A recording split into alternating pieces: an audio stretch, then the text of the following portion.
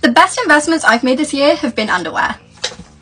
The cup size of these bras almost looks the same. They look like they could be the same size, except one fits and one really doesn't. For a long time, like years, I was wearing 32 or 34 Bs. Until I found my real size this year, which is a 28 double D. Everyone imagines double Ds to be huge, and you look at that and you think there's no way. But there is actually huge misconceptions about bra sizes. I actually learned how to find my bra size from Madison Alexandra. Search a bra that fits calculator on Google, and it shows you how to properly measure your bust. And like most people, I was really shocked when I found the results, and I look so much better in clothes now. I'm not actually going to show you because I don't want the men to come for my page. The second investment of the year was these Tala knickers. For as long as I can remember, I've been super paranoid about wearing leggings to the gym to go for a walk.